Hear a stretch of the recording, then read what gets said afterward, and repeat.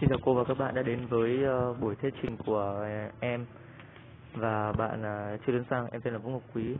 Bạn đồng hành cùng em là Trư Tuấn Sang đến từ lớp trung cấp EC 26. Hôm nay em xin trình bày về căn bệnh HIV. HIV tên quốc tế là Human Immunodeficiency Virus. Đây là virus suy giảm miễn dịch ở người là một retrovirus nhóm 6 có khả năng gây suy giảm miễn dịch AIDS ở người.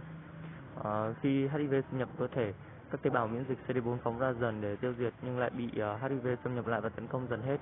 Các virus HIV cứ nhân lên và tiêu diệt đa số tế bào CD4 còn lại.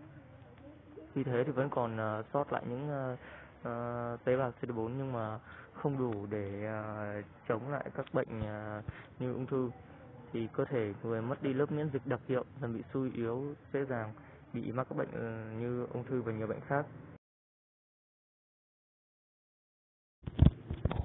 Xin chào cô và các bạn đã đến. Đây là hình ảnh cấu trúc tế bào HIV.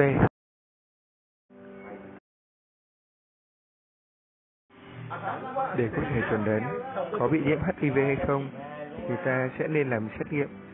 Kỹ thuật ngưng kết latex nhanh, kỹ thuật miễn dịch enzyme pha rắn.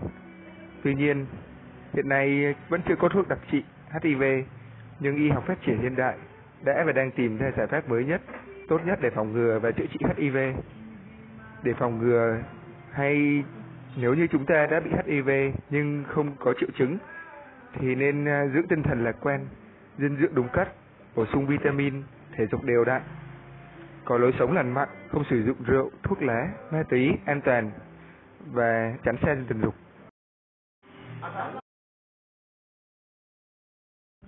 Và trên đây là biểu tượng uh, của um, việc ờ, chúng ta không nên kỳ thị, phân biệt đối xử với những người mắc HIV. Chúng ta nên là những người truyền lại năng lượng tích cực sống cho họ và góp phần tạo nên một cộng đồng không HIV. Và trên... Cảm ơn cô và các bạn đã lắng nghe phần trình bày của nhóm em.